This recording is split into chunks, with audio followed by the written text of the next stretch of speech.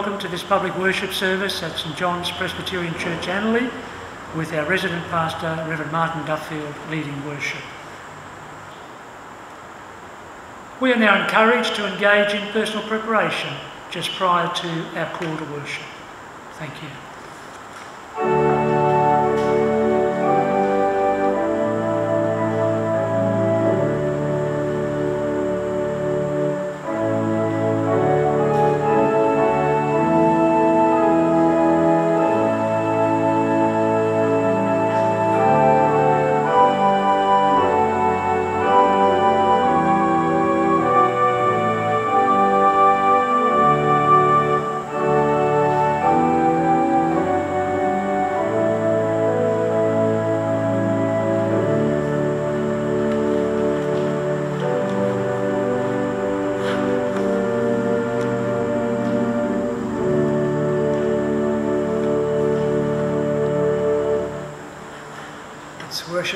This evening hour.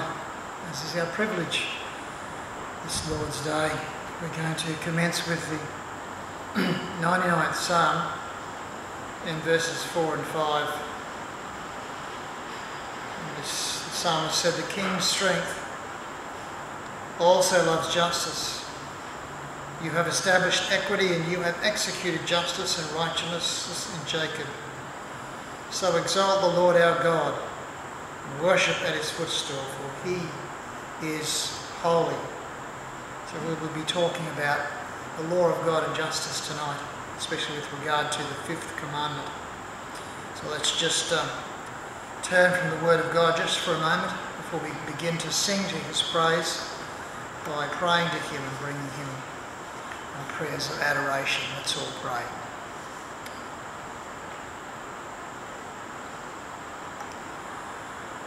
Almighty God, glorious in righteousness and holiness, we have come this evening to praise your holy name, to hear you speak with power to us about your will and purpose for our lives. We have no greater joy than to hear the voice of our God in Scripture. Not only as it's read to us, but as it is expounded to us. We rejoice not only in its truth and its wisdom, but in the life and the love that is in it and that comes from it. And we praise you for every word of every page of its glorious content. Now, Father, we stand in particular awe of the will of God which has been expressed in the Decalogue, the Ten Commandments of the moral law. If only humans could do all these things, if only they could do them all the time, then surely there would be no wrong, no sin, no evil, no suffering. If only all humans, all men, women, and children, could keep these ten words as you call them um, and enable and, and, and are given the ability to be able to do them, then surely we would have a kind of heaven on earth. If only we could meet every obligation of this ancient and eternal law from your mind and your heart, then surely love would be the only rule. For the law is the rule of love for every engagement of both God and man.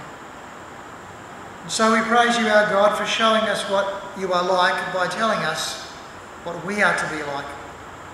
That this blessed law is the blessed agenda for everyone and every society and every nation, and yes, for every world if there was more than one. We have come this evening to worship in accordance with that holy law, especially because of the second commandment, which calls us to worship you and you alone, as you direct in your holy word alone. Receive us and all the gifts of this worship in this hallowed hour. We pray our Father in the Lord Jesus' glorious name. Amen. We're going to sing a carol of praise to our God. O come, O come, Emmanuel.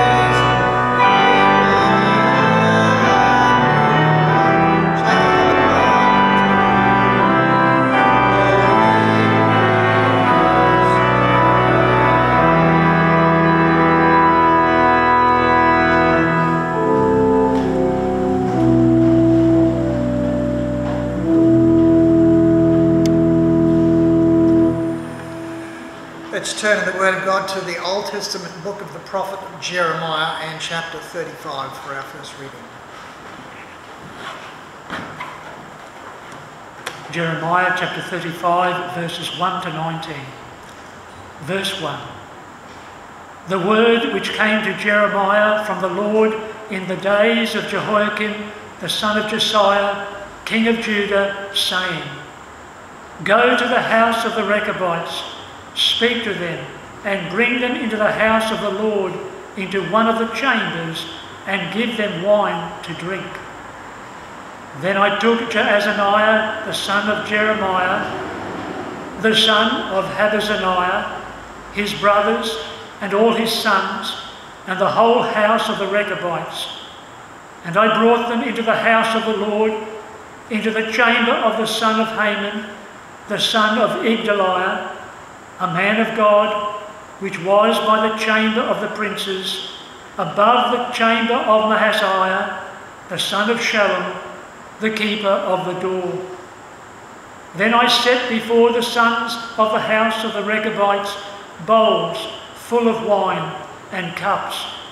And I said to them, Drink wine. But they said, We will drink no wine, for Jonadab the son of Rechab, our father, commanded us, saying, You shall drink no wine, you nor your sons, forever. You shall not build a house, sow seed, plant a vineyard, nor have any of these, but all your days you shall dwell in tents, that you may live many days in the land where you are sojourners. Thus we have obeyed the voice of Jonadab, the son of Rechab, our father, in all that he charged us, to drink no wine all our days. We, our wives, our sons, or our daughters, nor to build ourselves houses to dwell in, nor do we have vineyard, field, or seed. But we have dwelt in tents, and have obeyed and done according to all that Jonadab our father commanded us.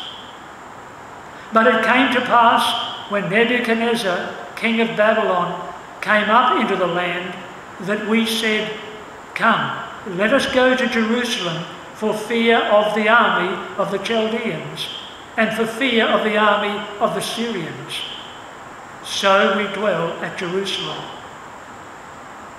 Then came the word of the Lord to Jeremiah, saying, Thus says the Lord of hosts, the God of Israel Go and tell the men of Judah and the inhabitants of Jerusalem, Will you not receive instructions to obey my words, says the Lord? The words of Jonadab, the son of Rechab, which he commanded his sons not to drink wine, are performed. For to this day they drink none and obey their father's commandment. But although I have spoken to you, rising early and speaking, you did not obey me.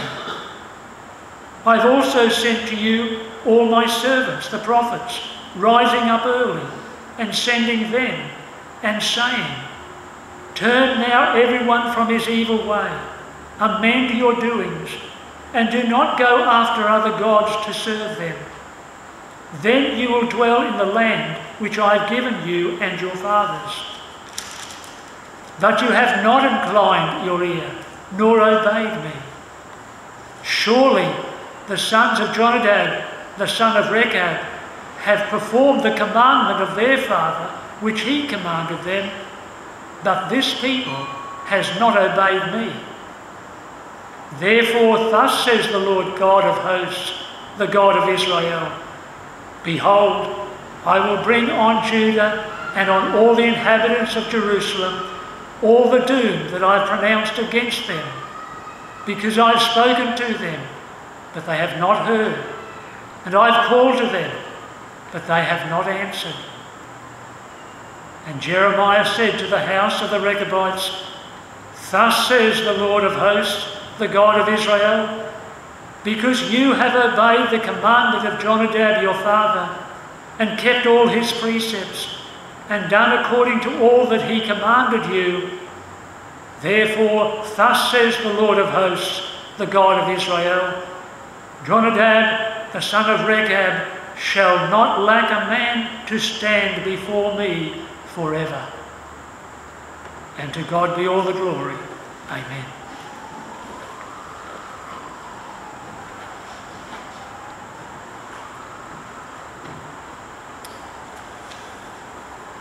Those inspiring account of a very faithful Old Covenant people, and that family, let's just take a moment to confess our unfaithfulness to God in our prayers of confession and supplication this evening. Let's all pray. Our Father in heaven,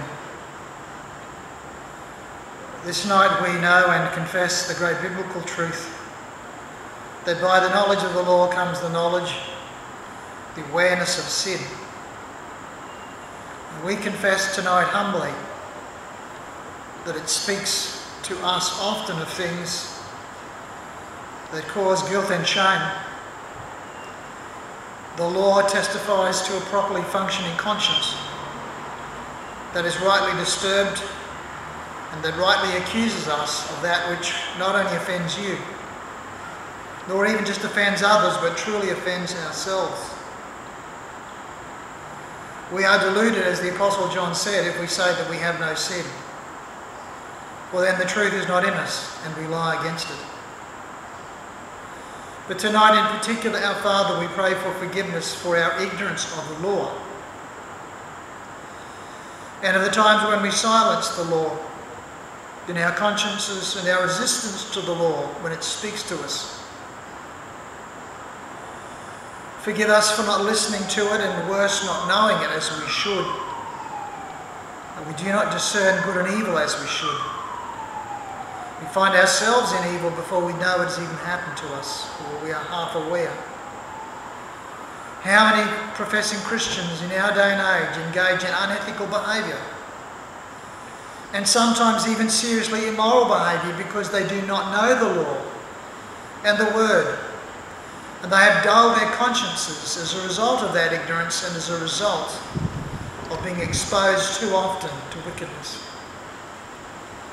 So help us, we pray, to be better students of the Word of God and daily.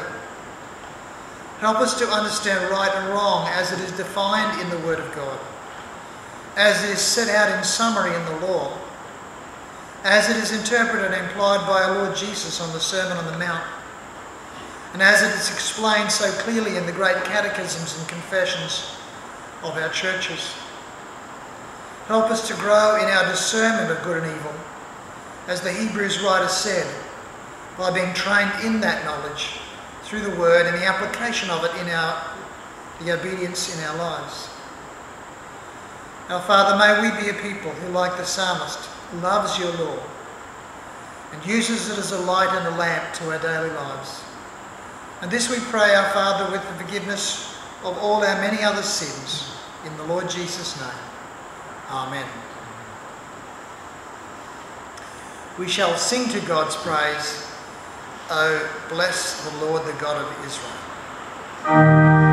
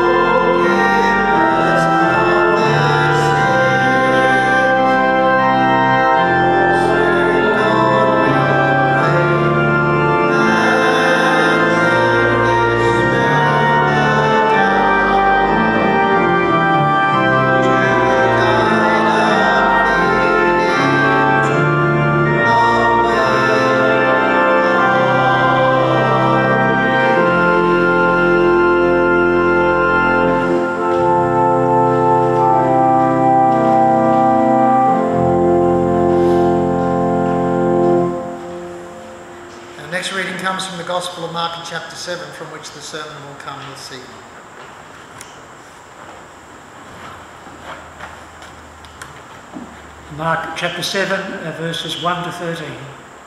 Verse 1.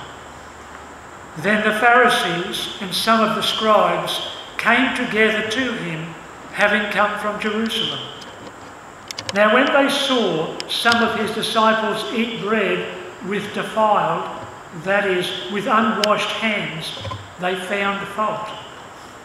For the Pharisees and all the Jews do not eat unless they wash their hands in a special way, holding the tradition of the elders.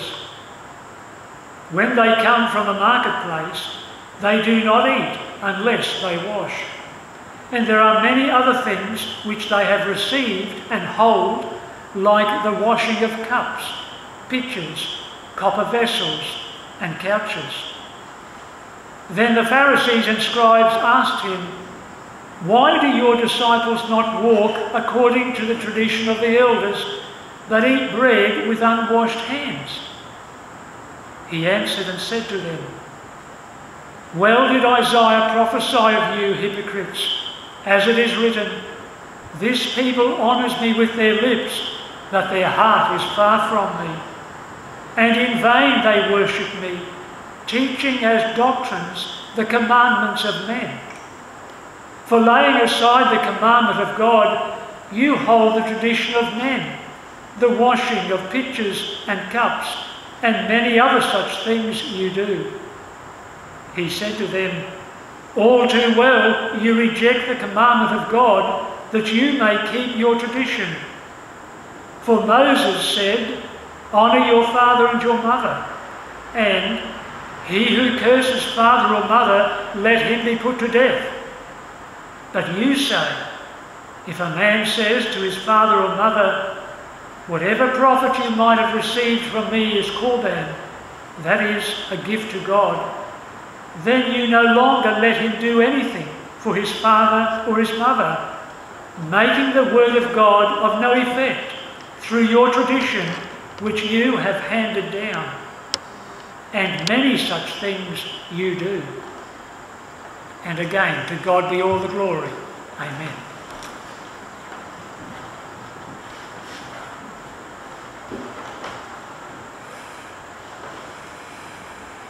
Let's just take a, a moment to uh, meditate again on God's mercies in this past week, His goodness.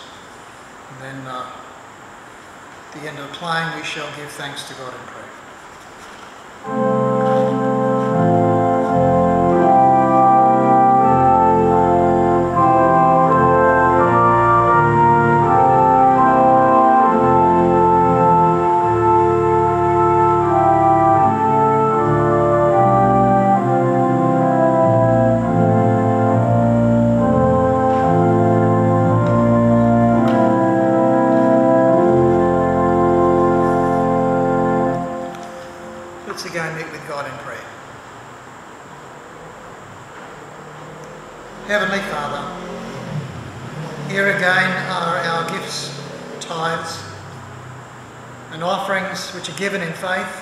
Also in faithfulness.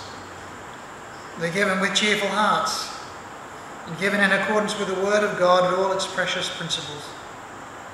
Use them, we pray, to take the law of God and the gospel with it into many places, especially where the law is not found, where sin is not understood as to its exceeding sinfulness, and where the gospel can be made to shine in the face of the conviction of sin that uh, the law necessarily produces. Bless these offerings to this end, that many may know the truth, the God of truth, and the Saviour who has come to bring peace between him and them. Amen.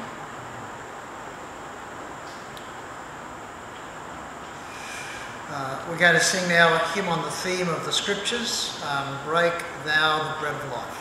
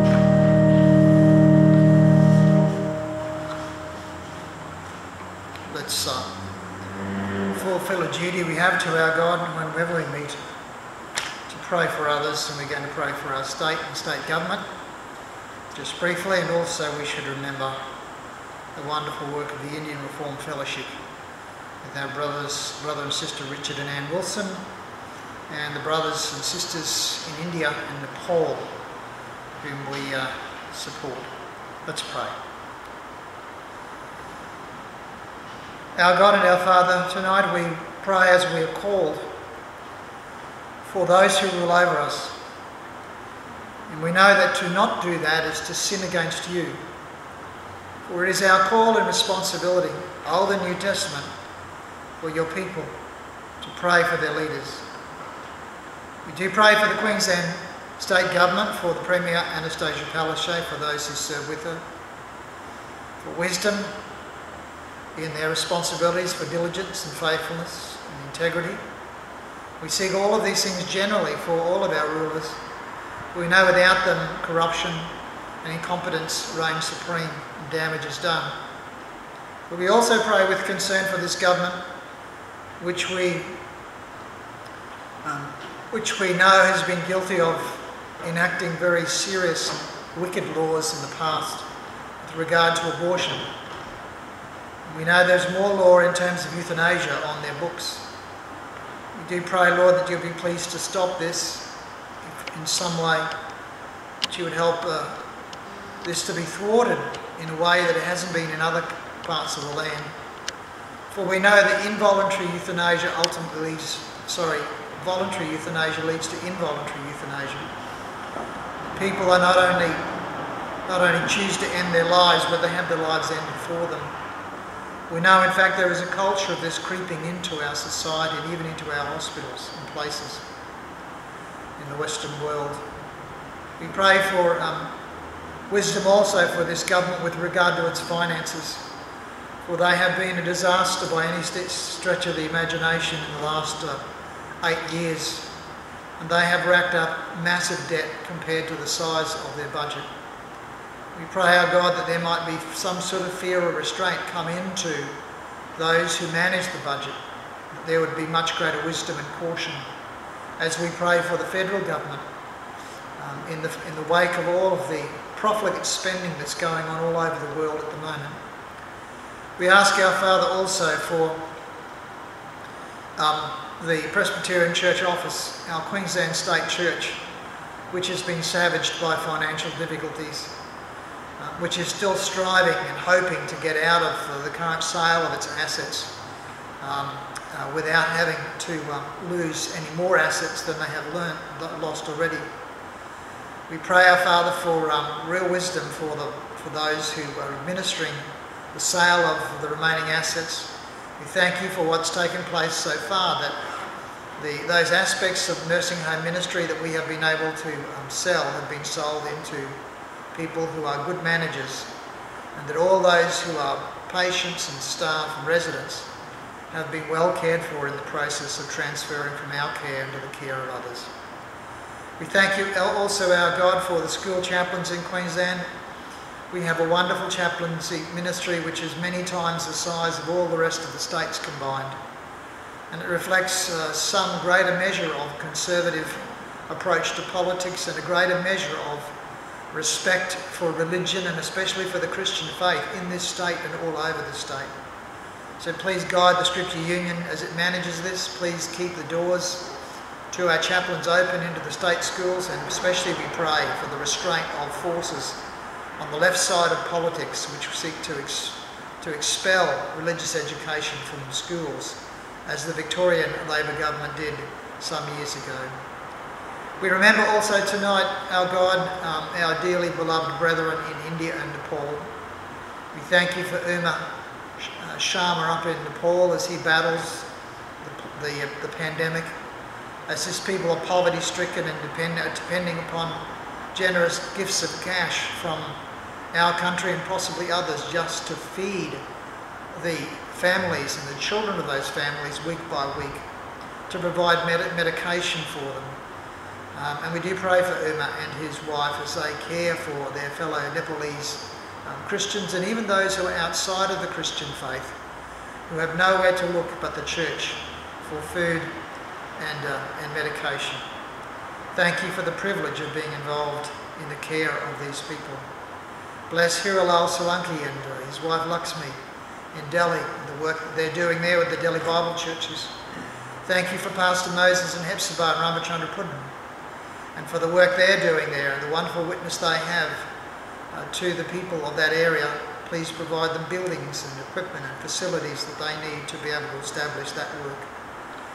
We thank you, our God, for Richard and Anne, um, and we pray for them as Richard is this um, incurable cancer, that you would be pleased to give him wisdom day by day to take the right medications and right supplements and right diet for the things that can minimise the damage and maximise his opportunities to live and to serve.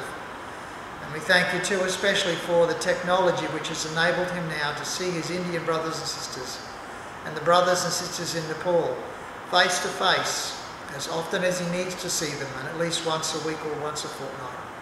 It is a wonderful provision which has come through the pandemic and we thank you for it. We pray that Richard might be truly even more effective than he ever has been in the past when he has been there in the flesh. As we come, our God, tonight to consider an aspect of the Word, and especially the blessed fifth commandment, please teach us more of yourself, who you really are, and especially of your Word, that we might be able to live and serve you better after hearing what you have to say to us. And we ask these things in the Lord Jesus' name. Amen. So, we are still in the Gospels. We've been going through the Gospels for some time, moving in and out of generally the Gospel of Mark and occasionally into Matthew um, to uh, try to cover as much of the Gospels as we can, uh, at least while I'm here. Hopefully, the whole lot. Tonight's sermon covers the area from Mark 7 9 to 13, and it's under the title, as you see there, Nullifying God's Word. Now, we have a precious privilege in our tradition in that Reformed Christians uh, of different denominations have all have a love for God's law. We understand its role in the gospel, its role in evangelism, its role in the pursuit of holiness or sanctification. We also understand its role in the good order of society including our society. We know how highly our Lord Jesus thought of the law, and Reformed Christians, whatever persuasion, have the same opinion of the law. We also, in fact, know its beauty and its power in regulating general human behaviour in society. We have, for most of those denominations' lives, taught and promoted the law to all these good and godly ends. Tonight, I want to look at what happens when people undermine or obscure its role in the lives of God's people under this title, Nullifying God's Word. In one sense, it's not a pleasant subject, uh, but it is important, an important one that's been left for us by the Holy Spirit in the Gospels, and because this comes directly from the heart of our Lord Jesus. He drove home its importance in dealing with a shameful abuse of tradition, which subverted and completely nullified one of the most precious of the commandments of the Old Covenant.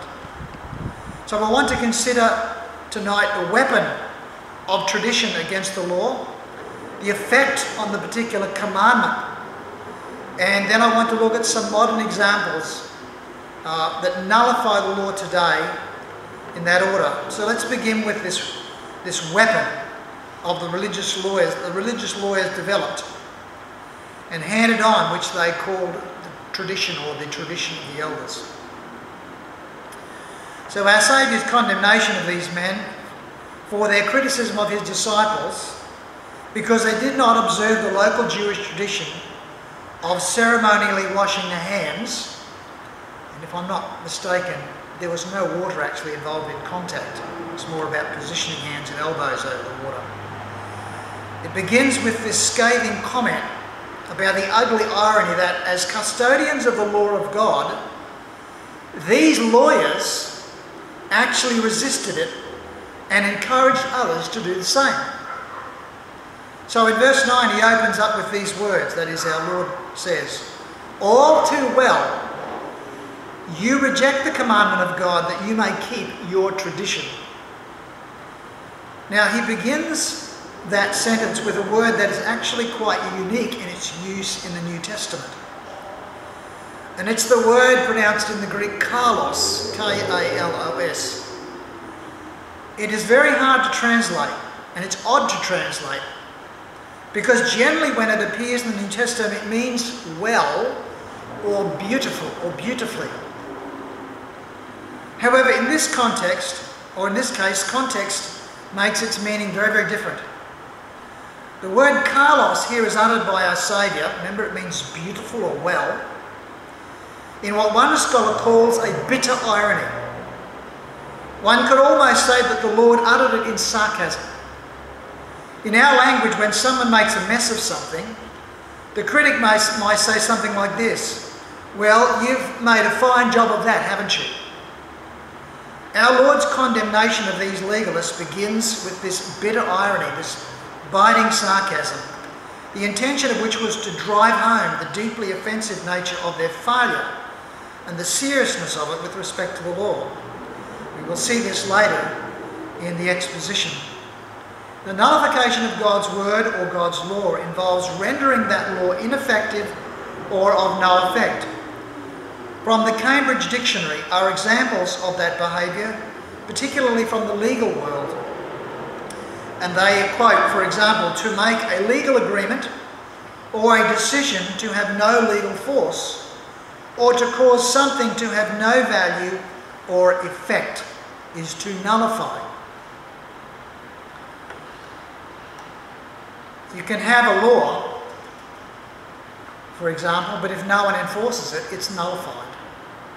You can make a decision, but if someone above you overrules it, it's nullified. And courts do all do this all the time, as one decision in the lower court is nullified by a higher by a higher court to which the decision is appealed. Many examples of nullification. Well, in this case, the irony deepens because it was the lower law that was in fact nullifying the higher law. The lower law was their wretched tradition, whereas the higher law was the very law of the living God. In this case, it was the fifth commandment of the great moral law of God. The former law, the little law, was a mere tradition, an invention of the small and corrupt minds of petty religious leaders.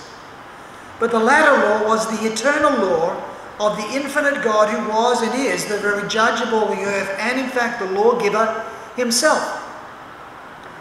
They had so drafted their law, in inverted commas, that it completely nullified the law of God in the fifth commandment.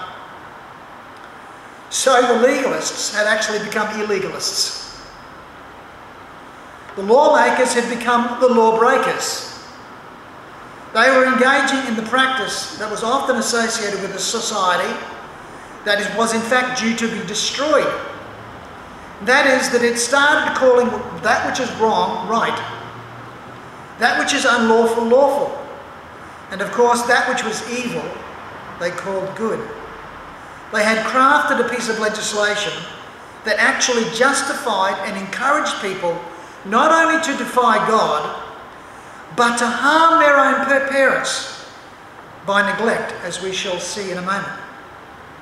This law, so called, was but one weapon by which this gross and absurd evil had become a reality in, in Israelite culture that we called the tradition of the elders.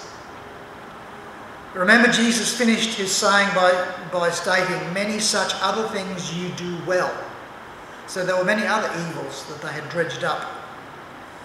When men act like this, when they generate laws and regulations and rules that justify, encourage, or even promote evil as defined by God, they have turned the rule of law into a weapon of lawlessness. It had become an instrument of injustice and, in fact, the sanction of cruelty against the innocent. And not just the innocent, but loved ones. When political analysts, historians, and commentators talk about the difference between a nation of laws and a nation and a, and a, and a nation of men, this is what it can look like. Laws that are made to benefit one group at the expense of another, laws that actually violate greater laws that are made by mere men for men, generate what we call the rule of men, in distinction to what we would call the rule of law or laws. Eventually, if the rule of men uh, predominates, we end up with what is called tyranny. Injustice is protected and sanctioned by such evil men who hold power often by controlling the nation's finances, its communications, its armed forces, or its electoral processes. And we will soon find out about this latter issue, of course, in the USA in the weeks to come. Such lawless laws eventually deny the victims any hope of fairness or justice. And in this case, this wretched Pharisaical tradition struck at the institution of the family and the relationship, the very intimate and sacred relationship between children and their parents. And it was particularly pernicious in this regard. Any law that lawmakers make that interfere in the basic duties and responsibilities of the family are dangerous and a dangerous violation of this great law of the fifth commandment. Can I leave my notes for just a moment to terrify you? In Scotland, law, laws are being drafted which will criminalise speech at the dinner table.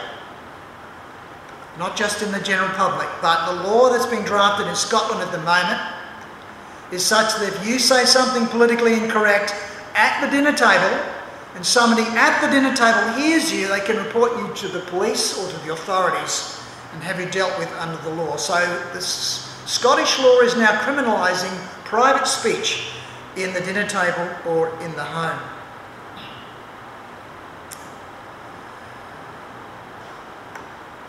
Eventually, what happens is tyranny or injustice. Tyranny and injustice is protected and sanctioned by evil men who hold power by controlling the nation through the establishment of these kind of laws. Governments do this when they enact laws that violate the law of God, which is the higher law. When he refused to obey some of the um, segregationist laws in the United States in the mid 20th century, and who wound up in jail, Martin Luther King, when asked why he refused to obey the law of America at that stage as it existed in terms of segregation, he replied by saying that some laws have to be resisted because they don't square with what he called the natural law. And by the natural law, Luther King meant the law of God. He also talked about the difference between good laws and bad laws as defined by the law of God. All laws ultimately can be seen for good or evil, justice or fairness by being measured against the moral law of God. That is the ultimate measure. James Montgomery, Professor James Montgomery, wrote a book on this subject in the late 20th century, the title of which captures this concept neatly. The book was called The Law Above the Law. In this case, the lawmakers themselves in Jesus' time had forget, forgotten the fundamental principle, and they had nullified the higher law by promoting and sanctioning, if not enforcing or attempting to enforce, this lower law. They had tipped it all on its head. Now, just by the way, I make a point here that we don't often think about our Saviour as a lawyer. But quite frankly, what do you think it, or who do you think it was who gave the law through angels on Mount Sinai? And was it not the same lawgiver who expounded his own Sinai law in the great Sermon on the Mount? Of course, he was a lawyer. He was the great lawyer because he was both a lawyer for the prosecution against his own lawless people in the Old Testament through the prophets, as he was a lawyer for the defense in the case of sinners. And as the book of Hebrews tells us, he is, he is our great attorney. And how badly do we need him as our advocate and attorney? We will plead guilty to God, or we do plead guilty, but he pleads mercy as our great attorney because he is also the Lamb of God and the sacrifice for our sins. But he is not just the lawyer, he is the lawgiver and the law interpreter himself from Sinai and the sermon. So let's turn now from this weapon of the these men of uh, these, this tradition to look exactly at the way in which they negated the, the greater law, the fifth commandment. Um, and uh, we shall see the relationship between the fifth commandment and this tradition that is commonly called, or was called in those days, the tradition of Korban. So we're looking now at how the law was nullified. The Saviour goes back to the source document, the source law, the fundamental principle of relations between parents and children.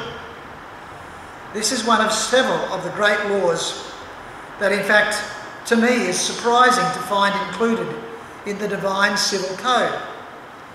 The sanctity of life, the sanctity of property, integrity in speech and marriage, we would all expect in any kind of a code that regulates society to achieve and maintain good order. And so too with the first four laws of the Ten Commandments. We would expect society to regulate its behaviour toward God in banning idolatry, false gods.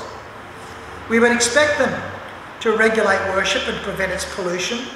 We would expect laws that protect God from public defamation and the misuse of his, word, of his names, and also the establishment of an order in terms of work and rest for the Sabbath day.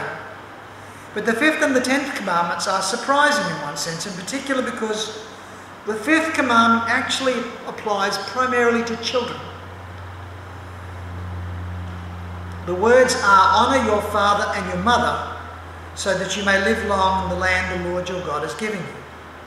The ancient law, God's law, contained not only this command governing the behaviour of children toward parents within the family, but also there was this promise, and the only positive promise uh, uh, was contained in this as an incentive, namely that to honour parents, and we shall talk about that in a moment, to honour parents meant that you would live long in the land the Lord your God was giving you. What is specifically nullified in this law was actually the physical care of parents. And this is something that we should take special note of here, especially if we have parents that are still alive. Here is the Lord's comment, remember, on this issue. For Moses said, Honour your father and your mother, and he who curses his father or mother, let him put, be put to death. But you say, if a man says to his father or mother, whatever profit you might have received from me is now korban, that is dedicated to God, that you no longer let him do anything for his father or his mother. So, in these two laws, um, and I'm referring to the laws of Moses, not to the tradition here. I'm referring to the law of honouring father and mother and also putting to death the incorrigible child. In these two laws of Moses, um, we have uh, the statement of the one, and the second is an application of that statement. The so called law of the incorrigible child was one of the ways in which the foundational law of honour your father and your mother was expressed in the civil code. It was a very serious offence, of course, a capital offence for a, an adult child to curse a mother or father. Uh, and for which there was the ultimate penalty. There were, in fact, I believe, over 30 offences in the code of the Old Testament that brought the death penalty. Uh, and the incorrigible child was just one. It was meant to apply to a child that persisted in this, I believe, although um, it's possible also that one curse could have brought penalty. Pulpit commentary explains this way Our Lord meant this that if he who by words, and he's speaking of the contrast between the tradition and the fifth commandment, if he who by his words speaks evil of his father and mother is by law guilty of death, how much more is he guilty of death who wrongs them by deed and deprives them of that support which he owes them by the law of nature? And not only so, but teaches others so from Moses' seat, as the scribes and the Pharisees did when they said, It is Korban. The pulpit commentary, is saying that the tradition of the scribes was far worse um, in terms of its effect than the cursing of father and mother. The fifth commandment was a commandment which meant more than simply honouring or respecting both parents, and both parents equally, and I stress that. It required children of all ages to behave not only in a respectful way toward their, children, toward their parents, but also in a caring way toward their parents. The word honour here is a word that is used of caring and providing in both testaments. For example, elders who preach and teach well are to be worthy of double honour. That's the word there, according to the apostle. And after this, he says in 1 Timothy 5 17 and 18, he speaks of the Old Testament principle of not muzzling the ox when it threshes. Congregations were to look after those who preached and taught. Paul, in his exhortation for the care of widows, makes two comments namely, that one, not only is such care for the widows good and pleasing in God's sight, but failure to honour widows, that is, mothers or mothers in law who have no husband, has serious implications for the faith. As he famously said, the man that does not provide for his family is worse than an infidel and has denied the faith.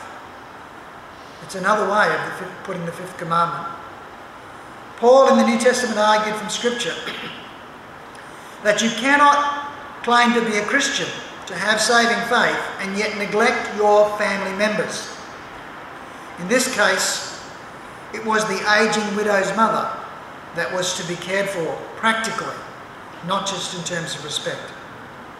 Another reason for the fifth commandment not to be neglected, much less abused, is because of the fundamental call of the entire Old Testament law.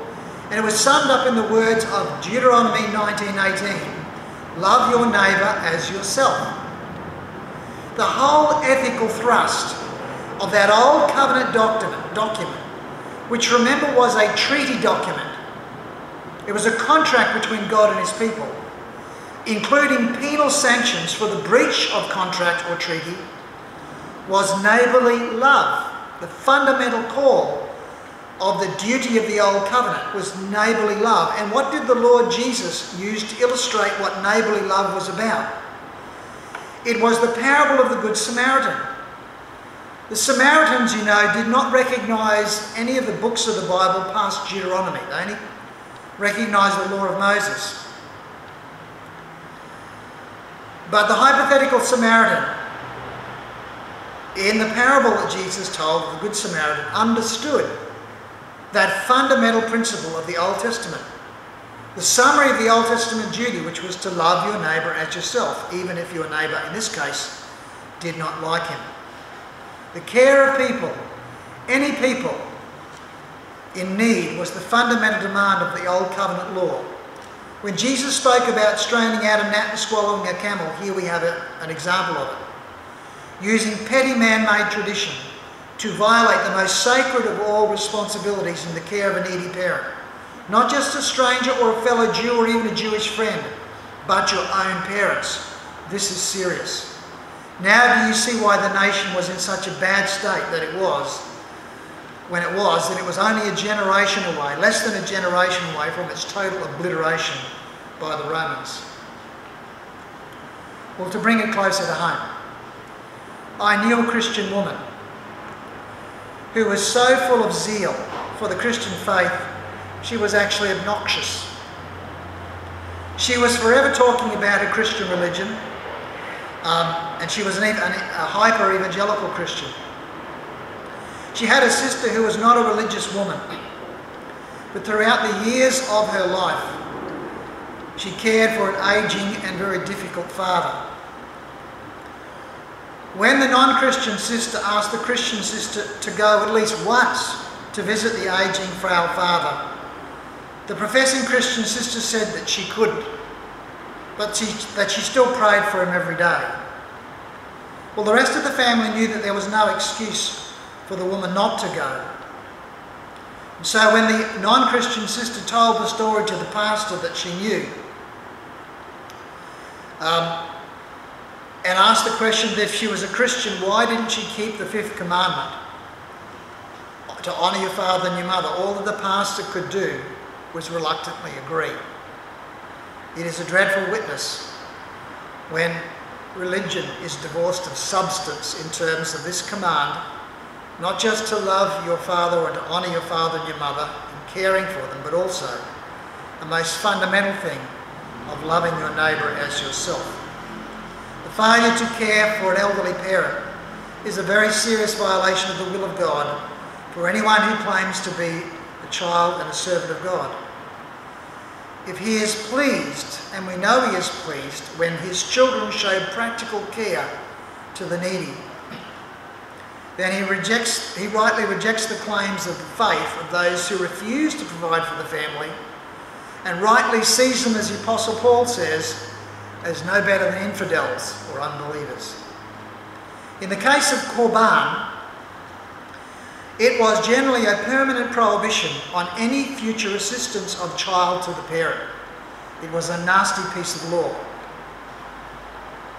Um, it could be applied to a thing, it could be applied um, to them as agents of help and supply. This rule made legal the denial of an adult child's help to an aging parent. Uh, and by child, we are almost certainly referring to an adult child. Well, do you think that people could be that heartless today?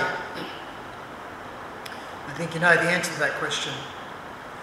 I've been told by nursing home staff that there are relatives, I assume including some children, God forbid that it is so, but I assume it is so, but certainly nieces and nephews, who are in the habit of bringing aged relatives to the home and leaving the person with the staff and giving them false information as to who they were, where they lived, and what phone numbers they had.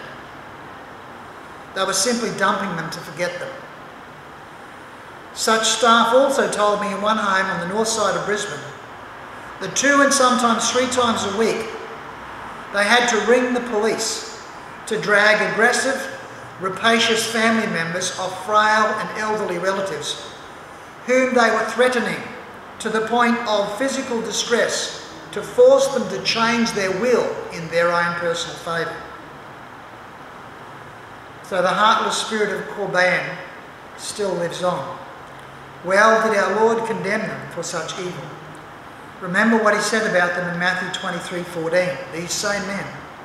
Woe to you, scribes and Pharisees, you hypocrites, for you devour widows' houses, and for a pretense you make long prayers. Therefore, you will receive the greater condemnation. And the condemnation was great, and it was part of the reason why Christ ultimately returned in judgment upon that nation to destroy its city and its temple for what it had become in terms of a heartless den of robbers that ultimately legitimised all kinds of vice and corruption to its final ruin. And so too welcome woe unto the church when it legitimises public evils, especially in the name of God.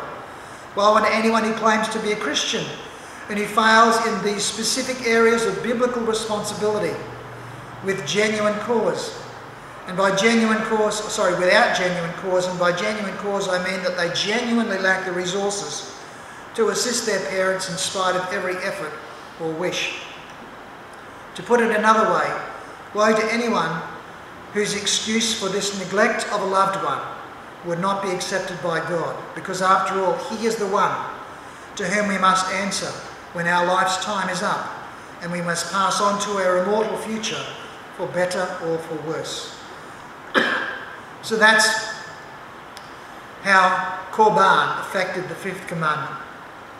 Let's close now by looking at the danger of nullifying the law in general in our own time. To finish off our consideration of this matter, we should look more broadly at the problem of nullifying the law or the word of God, as Jesus called it. Jesus chastised, or better still, condemned the religious lawyers with this word You make the word of God of no effect through your tradition, which you have handed down, and many such other things you do. The making of the word of God and the law of God to no effect is the great and damning fail, failing of these men. The Lord tells us the instrument was the traditions of these men that did it. This is particularly this particularly egregious example of the nullifying the law uh, involved loved ones, but it was only one of many of the pointless uh, nonsense of the like the ceremonial washing of hands before meals. Not only did such traditions lead people into violating the law, but they can also lead people into neglecting the law and the demands of the law, which, as we know, are ultimately the demands of love itself. They nullify the knowledge and the effect of the law and more widely the Word of God. So let me give you some modern examples of how the law of God and the Word of God can be made of no effect by the traditions of men, handed down, sadly, within the institutions of the church. Today, there is the denial of the authority of the law under an error known as the grace law dichotomy. This is a very common error today, and it was around in Paul's time as the book of Romans testified. So it goes that because all sin is forgiven, or can be forgiven, then the law, obedience to the law, isn't necessary. You can sin all you like because you have unlimited grace and forgiveness with God. But the purpose of the law, says Paul, is actually to reveal the nature of sin so that we can repent of it, resist it, recognize it, and get free of it and its dreadful consequences. If by this error, commonly called cheap grace, we neglect the law, then we are doomed to continue in sin, and thereby we nullify the law. We bring it to no effect. We also deny ourselves the blessed effects upon us as we begin to obey it and experience the blessedness of obedience. Another way you can obviously nullify the law, uh, the word of God and the law of God is by attacking it and reject, rejecting it.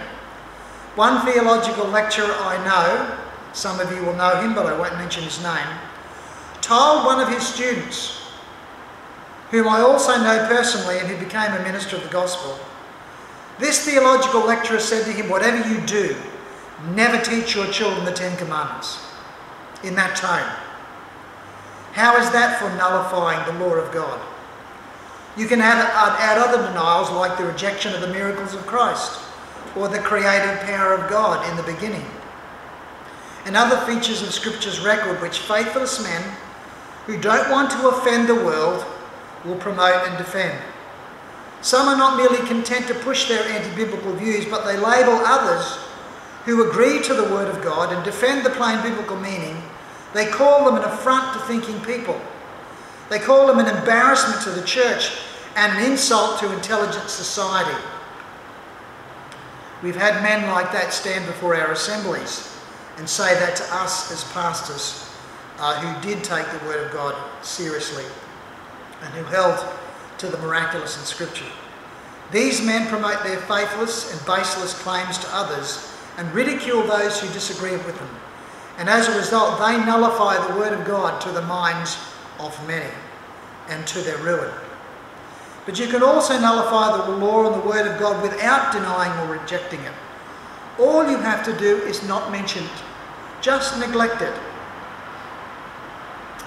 I knew a pastor who used to like saying, We are saved by grace alone, through faith alone, in Christ alone by the word of God alone to the glory of, the glory of God alone, but do not mention the law. The silence of the law, worse, the silence of the word of God, whether partial or total, because of the teaching of the men, is a very effective way of nullifying it. And what is the effect of that on people's lives if we nullify the word or the law of God? Well, God tells us in Isaiah 4 6 in these words. He said, and I quote, My people are destroyed for lack of knowledge. Because you have rejected knowledge, I will reject you from being priests for me. Because you have forgotten the law of your God, I will also forget your children. That knowledge was the knowledge of the law. And the ignorance of the law was what destroyed God's people time and again throughout the ages, as God warned through the prophet Hosea. These religious lawyers in Jesus' time had legislated for such ignorance, and parents were suffering as a result, and children were being set up for the consequences of that too in damaged relationships. Ignorance of the law, ignorance of the Word of God is a deadly condition in the spiritual realm. It is dangerous in any environment or system. But in navigating life and death, it is a particularly serious thing when people are not pre- properly prepared by sound teaching in the fundamentals of the faith. When men substitute other things for the Word of God, when they neglect the Word of God, when they worse reject or attack it, they are preparing the hearers and their followers for much misery, if not disaster. So, to conclude, the law of God is a very precious part of the gospel. Woe unto any man or church that obscures, denies, or rejects it. Woe unto anyone who even neglects it or plays it down. We have an entire legal system in the Western world that is based on British common law, which in turn is based largely upon Old Testament law and especially the Ten Commandments. The whole basis of our dignity as humans in the West, our freedoms, our fundamental rights as humans come out of the biblical concepts of the nature of man as the image of God and again, the Ten Commandments. They are, all, after all, as I have said repeatedly in this sermon, the laws of love. And they have helped to make our societies in the West the most tolerant and the most compassionate societies in all of human history. They are also intended to have this effect on every one of you here tonight. Remember that Christ died to set you free from the curse of the law in terms of its punishment. He also died to set you free to obey the law, which is to love God with your whole being and to love your neighbour as yourself, the summary of the law. And this is why our forefathers wrote the catechisms and spent one third of the, the content of the catechisms explaining the Ten Commandments in detail. We were not saved from obedience to the law, but we were saved to obedience to the law in holiness and faith. And we were saved to this end, that we might be blessed and benefit in this life and in the life to come, and all to the glory of our God. Let's pray.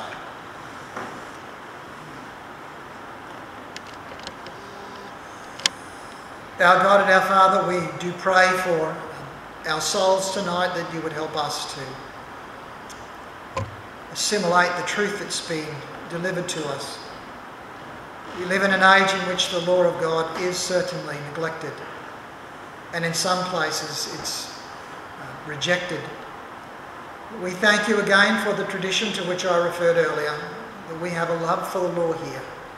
We understand its beauty and its power, and especially the way in which it points us to Jesus Christ as Saviour from all our sins. We thank you for this. We pray these things with your blessing upon the word tonight in Jesus' name. Amen.